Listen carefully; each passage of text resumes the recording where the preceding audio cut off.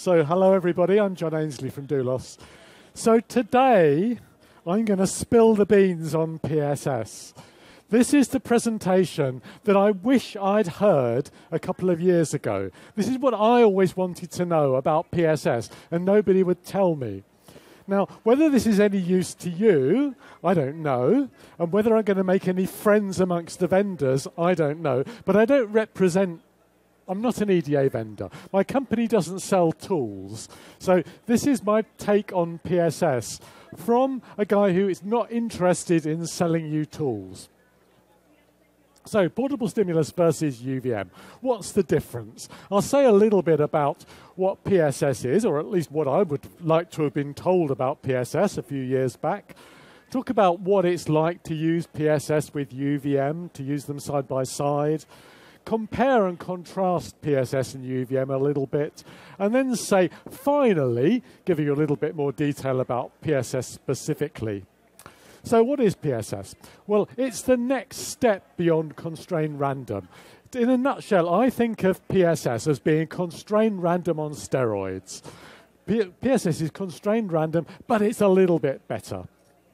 It's an Accellera standard as of today. It's an, let's have a cheer for PSS tomorrow. As of tomorrow, it's going to be a standard. Right, hold your applause.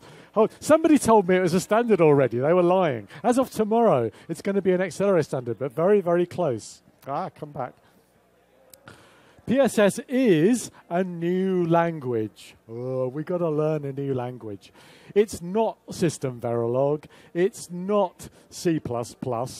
It actually comes in, in two different flavors DSL or domain specific language or C.